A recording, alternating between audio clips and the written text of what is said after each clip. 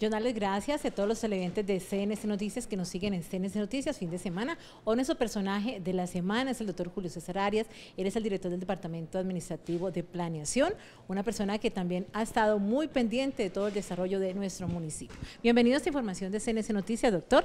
Y bueno, hablemos de cosas muy importantes, de todo lo que se ha venido haciendo por esta ciudad, por el corazón del Valle del Cauca, muchos proyectos, muchas cosas que contar. Pero también queremos escucharlo usted, que nos cuente un poco de usted, de quién es Julio César Arias para personas que no han tenido la oportunidad de conocer? Pues Julio César Arias, a pesar de que tenga cara de rolo, hablado de rolo, motilado de rolo, eh, es un tulueño, nacido en Tuluá, en el Tomás Uribe Uribe, en 1974, eh, de padres también, pues nacidos, uno en Sevilla Valle y mi madre en la Virginia, de familia oriunda de Antioquia. Eh, pero criados ellos en Tuluá y yo, por supuesto, nacido y criado en Tuluá toda la vida hasta que me fui a estudiar a Bogotá ya a mis treinta y pico de años. Bueno, ¿Usted eh, cómo llega a interesarse por esta, por esta situación de, de, la vida pública, la administración? ¿Cómo llega? ¿Cómo es ese proceso?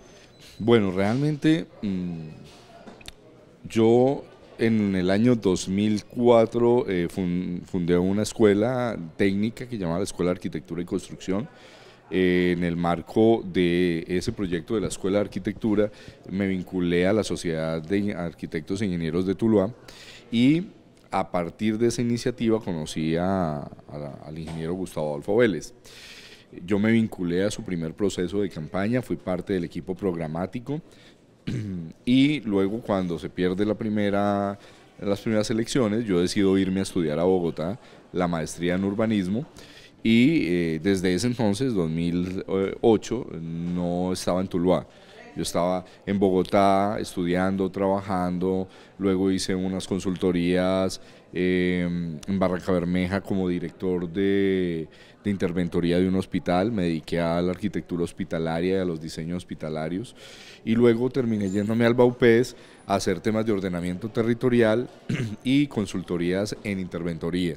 Y me quedé en el Baupés, me quedé casi seis años en el Baupés eh, haciendo procesos allá también colaborativos con, los gobiernos, tanto locales como departamentales. Y ahí pues me vinculé al tema público, fui director de infraestructura de, de, MITU durante un tiempo y luego me dediqué a, mis consultorías. Y estaba en el BOPES precisamente en los procesos de contratación propias de cualquier profesional cuando eh, sucedió el, pues el proceso electoral aquí, ganó el ingeniero Gustavo y entonces me hicieron, eh, digamos que la pregunta si a mí me gustaría participar en un proceso de selección. Entonces hubo un proceso de selección a través de Confandi ellos hicieron unas entrevistas psicotécnicas, de conocimiento, unas entrevistas eh, personales con, con, psicólogos, bueno.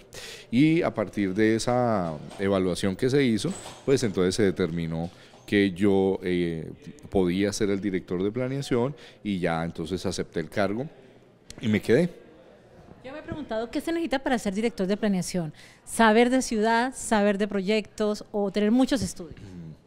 Bueno, los estudios no hacen a los profesionales ni a las personas. Eh, yo creo que la primera y gran condición es una total sinceridad, eh, es decir, trabajar con pasión y hacerlo sinceramente, de que usted realmente quiera el desarrollo del municipio en el que está. Eh, ya sea su municipio natal, como es en el caso mío, o ya sea otro municipio donde usted trabaje. Hacerlo con pasión y con sinceridad, con, con, honestidad. Es decir, siempre buscar que las decisiones que se toman en la planeación sean con información, sean bien construidas y que vayan en beneficio del mejoramiento de la calidad de vida de todos los ciudadanos. Yo creo que es más eso, más es la pasión y la honestidad con la que usted enfrente su quehacer, ¿sí? Ser honesto no es solamente no quedarse con un recurso, ser honesto también es trabajar con pasión y dedicarle el tiempo necesario a, a hacer su trabajo bien hecho. Quienes lo conocen siempre dicen que usted es un hombre que tiene visión de ciudad, que sabe de ciudad, que sabe para dónde va Tuluá. Pues yo creo que primero es porque soy tulueño, ¿cierto? Segundo, porque también hace parte de mi, de, mi vida personal el haber vivido pues en un sector eh, en formación como era el barrio Rojas en, los años 80, que, todo estaba por hacer, que las calles estaban destapadas, que no había alcantarillado, no había iluminación, entonces uno se forma ciertas cosas y ciertas metas en la vida de que el día que tenga la oportunidad de hacerlo lo puede hacer mejor, pero pero pues obviamente también se necesita eh, una preparación. Yo afortunadamente y gracias a Dios mis papás se, esforzaron y me pudieron dar la oportunidad de irme a la Universidad Nacional de Manizales a estudiar arquitectura y después de estudiar arquitectura, ya, ya después como de 10 años de haberme graduado, hice una maestría en urbanismo, eh, luego me preparé en Derecho Urbano en la Universidad del Rosario y acabo de terminar una especialización en Economía Urbana y Regional en el externado. Eh, claro, la preparación te sirve, pero si, si tenés preparación pero no amas el lugar en donde trabajas, si no sentís pasión por él, si no lo conoces, si no sos capaz de, saber dónde es cada cosa, cada barrio, cada lugar, pues obviamente no vas a ser capaz de, de hacer un buen trabajo. Entonces finalmente requiere de pasión también tener un origen humilde hace que la persona pueda tener una visión de lo que debería ser la ciudad, de las garantías que le debería dar a los ciudadanos, a los niños, a la gente pues es, es una reivindicación social. Eh, porque mm, yo anoche estaba reunido con la comunidad de Agua Clara, ¿sí? hay un, un, nuevo, un nuevo asentamiento que tiene como 3, 4 años, es la gente de, de Villa del Sol. Eh, son aproximadamente 42 familias a las cuales les vendieron unos lotes sin servicios, eh, con las calles destapadas, bueno, tienen todos los problemas del mundo. Yo hablaba anoche con ellos y les decía que a mí me da mucha rabia que alguien se aproveche de la gente más pobre porque en sí mismo eso le sucedió a mis padres. Entonces, ahora que estoy acá, ¿cómo no voy a ser capaz de ayudarlos, pero también de tener la capacidad de salir a los medios y decir, si hay un urbanizador ilegal, yo lo denuncio? Y eso nos ha servido muchísimo a parar ese tipo de cosas. Ahora, nosotros tenemos que ayudarle a la gente a legalizar sus asentamientos para mejorarle su calidad de vida pero que esto no se confunda con el hecho de que le vamos a alcahuetear a los, a, los urbanizadores piratas. No, mano dura con ellos, denuncias en la fiscalía con ellos, pero mano blanda con la gente y ayudarle a las personas. Eso, de pronto, eh, el haber estado y haber sido de una familia humilde me lleva a entenderlo mejor y me lleva a tomar mejores decisiones pero también una persona con la capacidad necesaria de trabajo podría hacerlo, sin necesidad de ser de una extracción humilde. Esto es solamente algo que, soy yo y, que ha sido parte de mi ejercicio personal, pero, pero, pero creo que, que cualquiera que tenga cinco dedos de frente y algo de pasión por su trabajo también lo puede hacer bien. Bueno, sobre el tema de, la humildad, resulta que a veces la gente confunde la humildad y la pobreza con querer todo gratis y también con querer aprovecharse y pasar por encima de la ley. Estamos hablando de situaciones como, por ejemplo, la recuperación del espacio público, que ha sido una tarea muy importante de esta administración, pero hay gente que con eh, eh, eh, la bandera del trabajo y que yo tengo derecho a trabajar, entonces quiere ir en contra de la norma, de pronto no mira mucho el tema de la recuperación y el beneficio que le hace a la ciudad también la recuperación del espacio público. Claro, Sujei, claro, claro, pero siempre hay, hay dos lados, ¿no? El, el, lado del, del, gobierno municipal es el lado de la protección de la norma, de la ley, de todo. Pero el lado de, de la persona que está tratando de conseguir su sustento también es necesario verlo. E, ese es el lado humano, ahí está la humanidad. Y yo, como estamos hablando así, te voy a decir una cosa. Yo, cuando tenía 12 años, mi papá, cuyos hermanos vendían verduras en la galería, había uno de ellos que vendía verduras diagonal a la entrada de los pescados en la galería. Y estaban sobre el andén el, el, sitio, o sea, el sitio de venta. Y yo trabajaba con él los fines de semana, sábados y domingos vendiendo verduras ahí. Yo hacía las pilas y las vendía, la pila de zanahoria, la pila de tomate, empacaba, pelaba cebolla y todo eso, porque mi papá quería que yo aprendiera el valor del trabajo. Pero también que aprendí que detrás de todas esas personas hay grandes historias historias de superación, historias de maltrato social, hay muchas cosas. Nosotros no perdemos nunca de vista cuando tomamos decisiones sobre el espacio público esas historias. Pareciera que la perdiéramos de vista. Con este comentario lo que les quiero decir es que cuando nosotros tomamos decisiones, como por ejemplo decirle a todas esas personas que venden perecederos en la calle, o sea, como decir mi tío y yo, en un momento determinado, los vamos a llegar a un mejor sitio, y cuando tú ves el sitio que se está construyendo, eso dignifica. Como el caso Bicentenario, el Mercadillo. Claro. Entonces no es sacarlos porque no los queremos, no, no, no.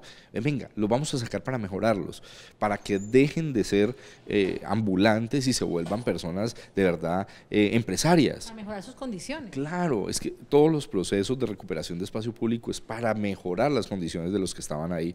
Claro, hay muchos que son fallidos y que no se hacen bien, pero en el caso de nosotros, no, a nosotros no se nos puede acusar de que no tenemos en cuenta las historias personales. Al contrario, nos preocupamos por ellos, los caracterizamos, los conocemos, vamos hasta allá, eh, hacemos las mediciones y todo el tema, porque sí nos interesan las historias de las personas, pero queremos que mejoren. Y eso es lo que ha sucedido. Ha sucedido incluso, eh, salgámonos de, ese tema del centro, vámonos, por ejemplo, a la Albernia. Eh, cuando empezamos a recuperar el Albernia, que estaba lleno de sitios de comidas, ¿sí? las personas que se movieron de la Albernia, que hoy solamente nos queda un restaurante, han mejorado. ¿Sí? Hay discotecas en el Príncipe, por eh, ejemplo, por, zona rosa.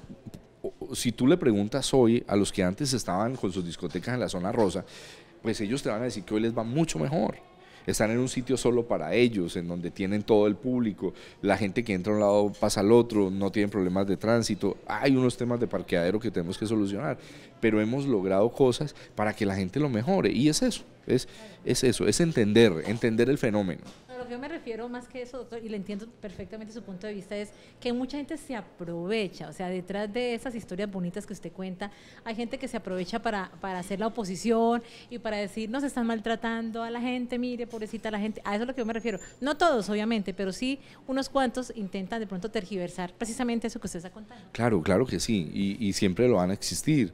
Eh, el detalle es que la gente aprenda a discernir el que te está echando un cuento versus el que realmente te está sirviendo. Y, en, nosotros, en, la administración, la vocación es de servicio. O sea, yo, yo puedo decir que nos enorgullecemos del gabinete que tenemos porque todos tenemos vocación de servicio. Aquí nadie tiene horario.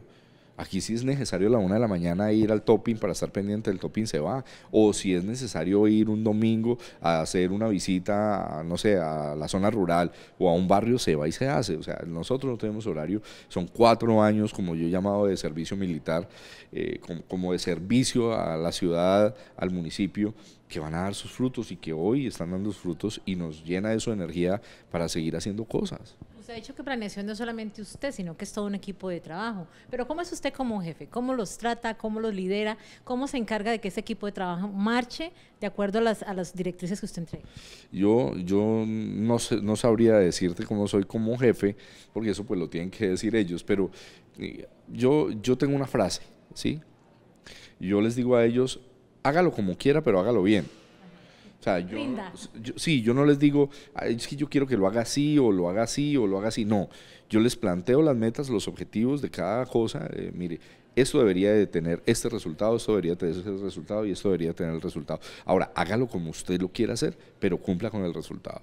Yo no soy del jefe que está encima si llegaban a las siete y media y fueron a la una, o no, porque lo que sí es que cuando yo pido el resultado tiene que estar. Ese es mi ejercicio, digamos, gerencial como tal. Eh, he tratado de impregnarle al equipo de trabajo que llevaba muchísimos años con varios directores eh, en esa eh, como pereza de ser protagonistas en el desarrollo. planeación se había vuelto un lugar simplemente de trámites y de firmas y de papeles. Muy frío. no, más bien inoperante, diría yo. Y lo que les dije yo cuando arrancamos y lo que les digo cada año en la conferencia que hacemos cada año, les digo, nosotros somos eh, transversales a todos los procesos del municipio. Es decir, en nosotros confían todas las secretarías porque por aquí pasan todos los proyectos de las secretarías. Entonces nosotros tenemos que ser superiores a, ese, a, esa confianza que ellos nos dan. Entonces nosotros tenemos que ser los que los llevamos, los que los vinculamos, los que los ponemos a tono. Eso es. Con respecto a ese tratamiento que precisamente usted habla de la gente, de la forma en cómo le corresponden, eh, ¿cuáles han sido los resultados? Usted ha sido también elogiado por el alcalde, le ha, dado el agradecimiento a través de los medios de comunicación también por el trabajo que usted ha venido realizando. Eh, todo esto, los megaproyectos, de ese tipo de, de trabajo, de estar detrás para poder que la administración cumpla con esas metas, ¿cómo se ha hecho? Pues mire, yo le voy a comentar, la primera vez que yo me reuní con el ingeniero Gustavo en diciembre, antes de que se supiera que yo iba a ser el director, eh, él me llevó a hacer un recorrido por la ciudad. Y él me dijo, ¿qué quería de la ciudad? Él me dijo, yo me imagino esto así, me imagino esto así, me imagino así las cosas, me imagino una ciudad de estas. Y él tenía una visión de la ciudad y la visión de ciudad es la que hoy estamos construyendo. Eh, pasa lo mismo que yo hago con, mi equipo. Él a su equipo también le transmite la visión de ciudad que ha tenido como líder de este proceso. Y, yo lo que hago es que todo mi conocimiento, todo lo que yo sé, lo que he vivido, lo que he viajado, lo que he experimentado, eh, lo que he escrito, todo eso lo puse al servicio de esa visión de ciudad que él tenía, esa visión de municipio que él tenía. Y entonces yo le aporté simplemente lo, lo mío. Eh, mis procesos, el liderazgo de mis procesos y articulado con él en la medida en que íbamos tomando decisiones, pues se fueron dando cosas. Y detrás de, de, lo que yo he hecho, pues está todo mi equipo, pero entonces también detrás de los logros que se han hecho están eh, secretarios eh, como movilidad, como TIC, como infraestructura, que es tan, tan, tan transversal. Infituluá, que ha sido pues protagonista en el tema, eh, la Secretaría de Jurídica, privada, gobierno, o sea, aquí todos metemos el hombro para que esto se dé, cada uno desde su experticia. Eh, tal vez el conocimiento que yo he adquirido en mi vida profesional y que lo vine a traer aquí ha sido un conocimiento que nunca había estado al servicio de la ciudad en, ese puesto. Ahí había, han, existido ingenieros, ha, habido un solo arquitecto que fue Rodolfo Ramírez hace muchos años, luego hubo, gente, hasta licenciados de inglés, hubieron de directores de planeación. Entonces, eh, hoy por fin, digamos yo, entre comillas, digo, hay alguien que sabe de ciudad, que se ha entrenado académicamente para eso y profesionalmente y que estamos aprovechando eso, pero eh, todo es con base en, la visión de ese, de ese proyecto de municipio que tenía el alcalde en la cabeza y que hemos ido construyendo. Hablando de proyectos, el tema y del espacio público, el tema de las estatuas, allí también de las estatuas en homenaje a los marmolejos, allí en la calle Sarmiento, ha generado mucha polémica, eh, pues por el tema de la recuperación del espacio público, precisamente dicen que cómo se está recuperando el espacio público y vienen a colocar unas estatuas, pero eso hace parte de un proyecto. Sí, yo, a ver, yo voy a hacer esto en una comparación. Eh, cuando yo estaba pequeño, mi mamá se rompió un brazo y en vez de ir al médico para que le pusieran un yeso, fue donde un sobandero para que le sobaran. Y ese brazo le quedó un poquito torcidito a mi mamá, porque el sobandero pues tenía un nivel de conocimiento mucho menos que el que podía tener un traumatólogo. ¿sí? Eso pasa con el tema de la intervención de espacio público y de lo que sigue después. Cuando usted hace una intervención de espacio público y desocupa el espacio público y lo deja sin hacerle nada, solamente recuperado, es como si usted lo llevara al sobandero. Hasta ahí alcanza el conocimiento. Pero resulta que los grandes procesos de intervención de espacio público eh, siempre se hacen con una segunda fase y es la, fase de resignificación. ¿Qué significa? Que debe tomar una nueva personalidad el espacio público. No se puede dejar solamente limpio. Tiene que haber un, nuevo ejercicio que la gente identifique. El ejercicio de la escultura fue una escultura que los marmolejos eh, eh, donaron, ¿sí? Y que la utilizamos como un proyecto piloto para ver la reacción de la gente. Hay reacciones de muchos tipos, eh, desde los tipos que, en los medios de, de, las redes estaban diciendo vayan y destruyanla, que me parece lo más, lo, lo, más anárquico del mundo, porque usted no puede destruir una obra de arte así a usted no le guste. O sea, e, eso, eso tiene un contenido social, eso demuestra qué tipo de sociedad somos. Bueno, o qué tipo de personas hay en nuestra sociedad. Hasta reacciones muy favorables de personas que se acercaron a, a nosotros y nos dijeron, oiga, qué buena iniciativa están los dos extremos, pero también pusimos a hacer un seguimiento y la gente se arrimaba y la admiraba, algunos se tomaban fotos con ella, ¿Qué, hizo, eh, digamos, este ejercicio de esta semana que estuvo esa, esa escultura ahí? Eh, nos permitió replantear la, estrategia de publicidad con la que vamos a abordar el, proyecto. El proyecto realmente son 14 esculturas que van a ser colocadas al lado y lado de las siete cuadras que van desde el Hotel Juan María o desde el Parque Céspedes hasta la carrera 20. ¿Cuál es la idea del proyecto? La idea del proyecto es que esas esculturas, además son parlantes, cuentan historia, que la gente arranque en el Hotel Juan María y llegue a la carrera 20, ¿sí? y que cuando arranque empiece a escuchar la historia de Tuluá y cuando llegue a la carrera 20 ya se la sepa. Que le cuenten, que las esculturas le cuenten la, la historia de Tuluá, pero no va a ser el, el señor fulano o el otro fulano, no vamos a generar una votación, vamos a, construir una lista tanto de históricos, personajes históricos como personajes tradicionales, eh, algún, algunos elementos que reflejen la cultura popular, por ejemplo, está la, la vendedora de chontaduro, ¿sí? está el cortero de caña, eh, vamos a tener imágenes populares también que cuenten la historia de lo que, está, de lo que, de lo que fue Tuluá hasta hoy, de lo que ha sido Tuluá hasta hoy. Cuando pongamos esas esculturas, lo que nosotros creemos es que la gente se va a identificar con ellas y se va a volver un corredor histórico, pero también un corredor turístico, no solo para los locales, para que nosotros conozcamos nuestra historia, sino para que esos 3 millones de turistas que vienen eh, a Buga, pues tengan un motivo para llegar a Tuluá, se vayan por la calle Sarmiento, que es nuestra calle real, conozcan nuestra historia, pero además compren en los almacenes, entren a los restaurantes y le generamos una dinámica porque además el corredor remata en la carrera 20 y remata en el Bicentenario y remata en el Mercadillo y la idea es que los estamos invitando a eso. Entonces, claro, si ves, es diferente llevarlo al sobandero que llevarlo donde el traumatólogo. En este caso, el traumatólogo es planeación que establece la segunda estrategia y les dice, si hacemos esto, no solamente ganamos en identidad, en memoria colectiva, sino que ganamos también en, atraer gente que nos va a fortalecer el comercio y nos va a fortalecer la ciudad. Entonces es un proyecto de mucho más aliento, de mucha más carne que solamente una escultura con la que queríamos inicialmente hacerle un homenaje a los 90 años del Teatro Sarmiento de parte de la familia de Marmolejo, pero también pues de parte de nosotros mirar cómo reaccionaba la gente del ejercicio. Y nos sirvió muchísimo gracias a todos los que de alguna u otra manera hicieron comentarios buenos o malos porque nos ayudaron a reestructurar lo que va a ser la campaña publicitaria para el proyecto que sigue adelante y que yo sé va a ser un referente a nivel nacional, porque no existe en, en Colombia no existe un corredor de esculturas urbanas parlantes que cuenten la historia de la ciudad. No existe, o sea que seríamos la primera ciudad que hace eso. Bueno, doctor Julio César, de verdad que con usted siempre es muy interesante charlar porque siempre nos cuenta historia, nos cuenta de Tuluá y nos cuenta los proyectos que viene adelantando la administración. Bueno, muchísimas gracias por acompañarnos y lo tendremos en otra oportunidad nuevamente. Muchísimas gracias, Sujei, muchísimas gracias a todo y, repito siempre, planeación está a su servicio y estamos para servir, muy amables. Un mensaje para todos los tulueños en esta época tan especial. Yo no soy muy navideño, pero de todas maneras, nada, desearles por favor que disfruten de la Navidad en paz.